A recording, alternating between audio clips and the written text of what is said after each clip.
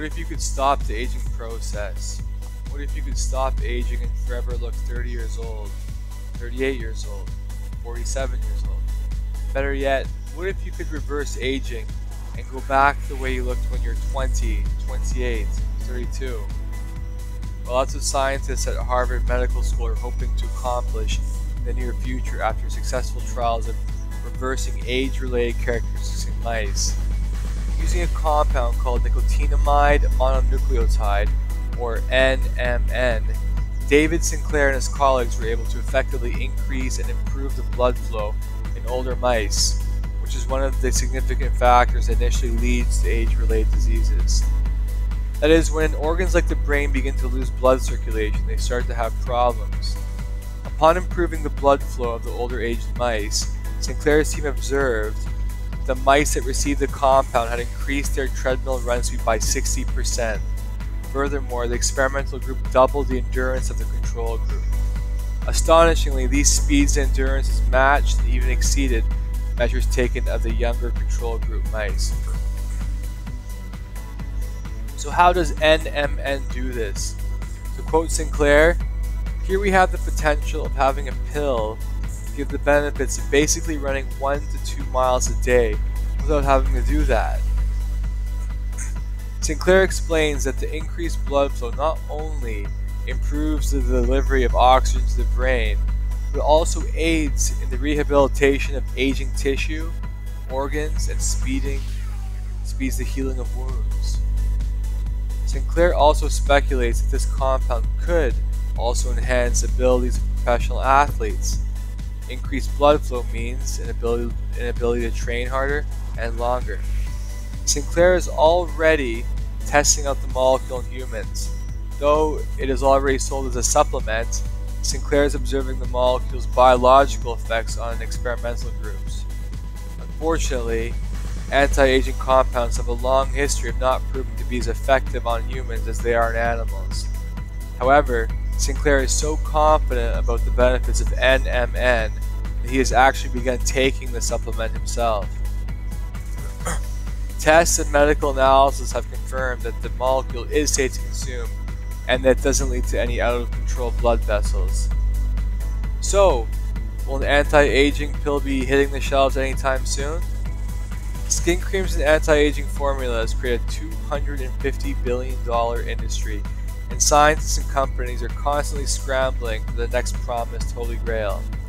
However, Sinclair and his colleagues have also identified another compound by the name of nicotinamide adenine dinucleotide, or NAD for short, that may just promise to be the next real elixir.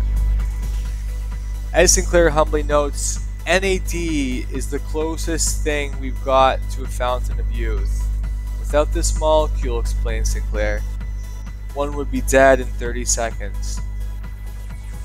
NAD is a molecule common to all living things and is responsible for regulating cellular aging and maintaining functions within the whole body. Unfortunately, as animals and people age, our levels of NAD begin to diminish. After identifying this compound, Sinclair and his colleagues tried upping the levels of NAD in older mice to see if the increased concentration would cause them to look, act, and live longer, and they were successful.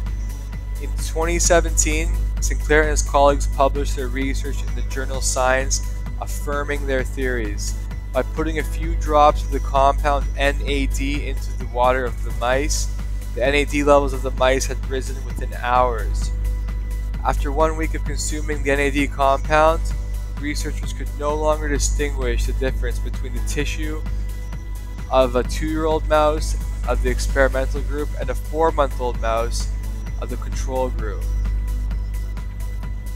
Human trials began and similar results have been reported.